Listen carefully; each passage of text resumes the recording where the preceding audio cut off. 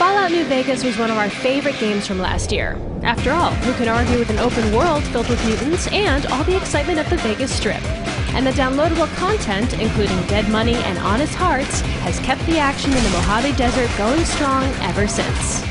The latest release, Old World Blues, takes the courier to an all new location in the Mojave called the Big Empty and reintroduces us to some characters you may recognize from previous DLC. We went down to Burbank, California, where we chatted with our friends Jason Bergman of Bethesda and Chris Avellone of Obsidian about the new DLC.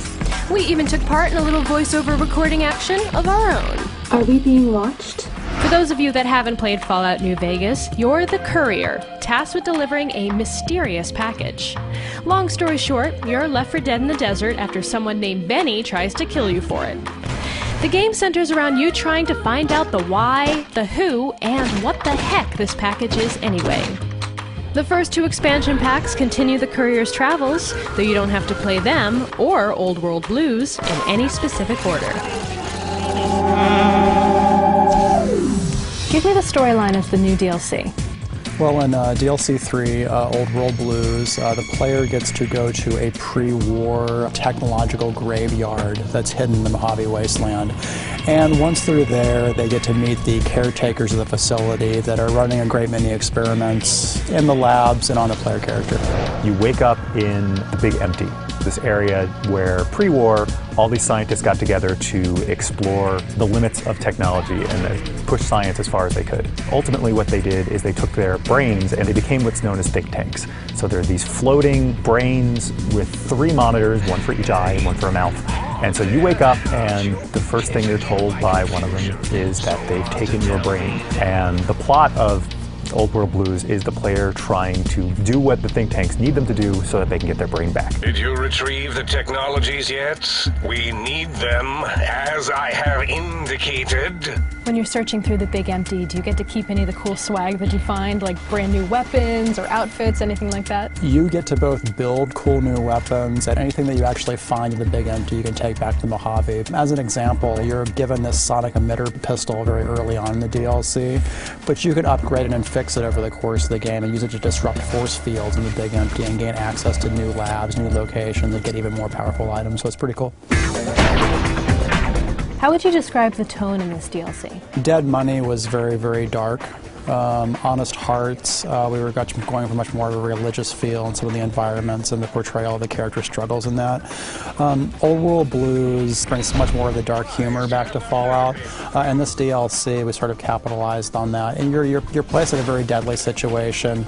You're surrounded by a number of scientific terrors, but at the same time it's counterbalanced by some of the humor that you actually encounter in the DLC. A toaster is just a death ray with a smaller power supply. You'll be meeting lots of new human and non human characters along the way. There's voices in the big empty. I want to talk to them. Lending his dulcet tones to the DLC is Roger Cross, an accomplished voice actor who has also had major screen time in TV shows like 24 and The L Word. I'm portraying Ulysses, and he's been alluded to over the first few, and in three you'll get a taste of him. He's a, a fellow courier, but he's probably a little wiser and more experienced. This character has been referenced repeatedly in both the original game and in Dead Money, but this is the first time we actually meet this other courier, whose life is so seemingly entrenched with our own.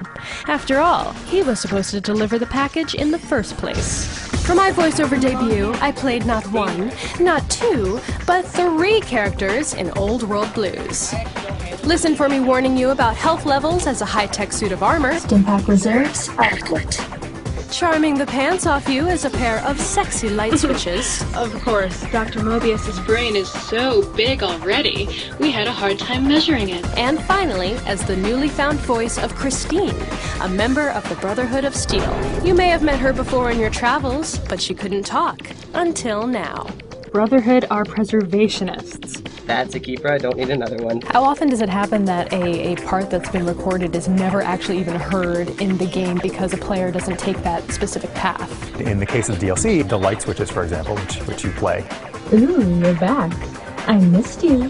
that's actually an optional character. One of the first quests the player gets is they have to go and find the various personalities for each of these appliances in the sink, which is this um, area the player has access to and can upgrade. And if the player never finds those personalities, they never get to hear your voice. Come on, you know you want to turn on the light switch. Mmm, that was a nice little uh, cat nap.